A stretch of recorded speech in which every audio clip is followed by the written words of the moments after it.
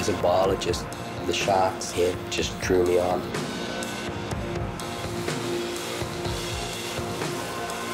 Mossel Bay has either the first or second most dense population of great white sharks in the world. For over a decade, Ryan Johnson has been tagging and tracking Mossel Bay's great whites in an attempt to understand their behavior. With only a few weeks before the summer tourist season begins, Ryan wants to find out if sharks are, in fact, still hunting in the area.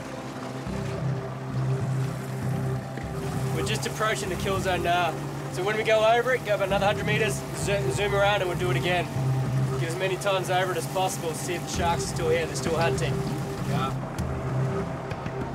Using a small seal decoy, Ryan hopes to attract any hunting sharks circling below. What you find when the light is this low is that the penetration of light down into the water gets a lot less. But the seals are still silhouetted. So the sharks can see the seals, but the seals can't see the sharks. It's actually a very weird position to be in because you so want the sharks to hunt and breach and to see that. But at the same time, you're thinking, I want these sharks down that other end of the bay and not to be hunted because we know the holidaymakers are coming soon.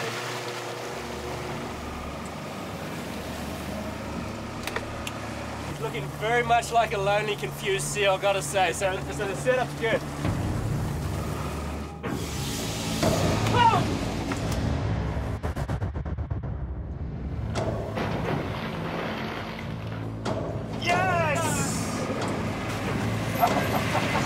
When you just least expected that happens.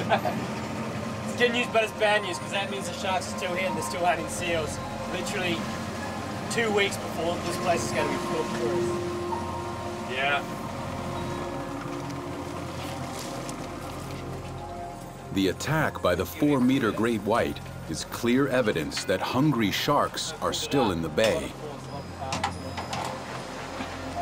Now the question is, how close are they venturing to the beaches?